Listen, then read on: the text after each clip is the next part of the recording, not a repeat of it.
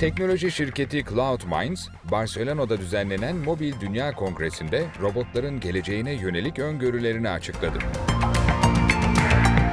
Cloud Minds'a göre robotların beyinlerini bulutta saklamak, öğrenme sürecinin daha hızlı ilerlemesini sağlıyor.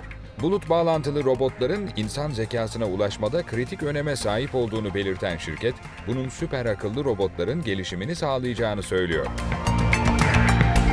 CloudMinds'a göre, bulut platformuna bağlı olan tüm robotlar birbirinden öğrenerek daha hızlı bir gelişim gösterebiliyor. Şirket tarafından geliştirilen robotlardan biri olan X-Arva'nın ipi iğne deliğinden geçirme, resepsiyonist ve garson olarak çalışma gibi özellikleriyle farklı işlere kolaylıkla uyum sağlayabildiği de belirtiliyor.